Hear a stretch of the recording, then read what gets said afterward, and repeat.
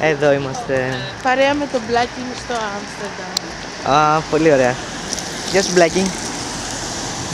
Μπλάκι. Τι είναι, Μουρίτσα. Τι είδες; Α, είδε ένα τραμ.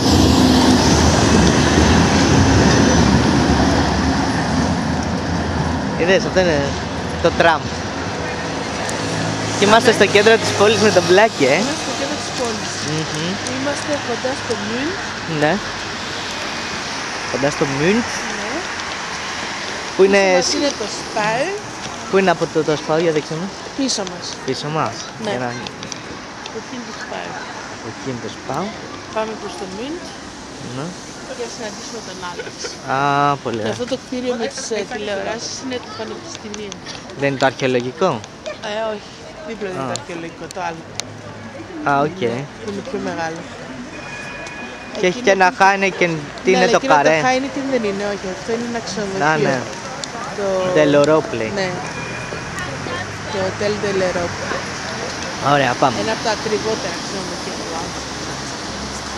Νομίζω είναι πέντε αστέρων. Αν, σίγουρα είναι πέντε αστέρων.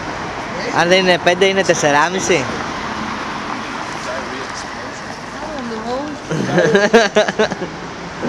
Wow. Πολύ ωραία.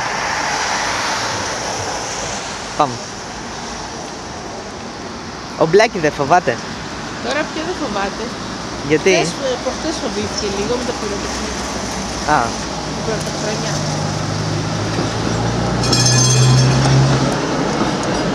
πάει παντού εδώ, ε. Ο Μπλάκι πάει παντού. Κοιτάζει τις βιτρίνες. Γιατί είναι service dog. Α, service dog, Ναι. δηλαδή; Είναι σκύλος που υπηρετεί. Υπηρετεί. Ένα σκοπό. Α, OK. Nunca reclamei, até elogiei. Είναι για σαν σύ- σκύλος σύντροφος. Σκύλος φι- σύντροφος για άτομα που έχουν αυτισμό. Α, μάλιστα. Που ταξιδεύει δωρεάν από... Ναι, ταξιδεύει δω- δωρεάν. Και, Και μπορούμε να τον παίρνουμε παντού; και μπορούμε να το παίρνουμε παντού. Α, πολύ. ωραία. Στο Άμστερνταμ όλα τα σκύλια πάνε παντού. Και στο μπαρ μπορούμε να τον παίρνουμε. Και στο μπαρ. Και για όχι καφέ; σε- όχι σε εστιατόριο. Όχι σε εστιατόριο. Ακόμη, γιατί δεν έχει εκπαιδευτεί εντελώς. Ναι. Αλλά όταν είναι τελειωμένη και έλλειμμα, θα μπορεί να μπει και σε εστιατόριο. Ωραία.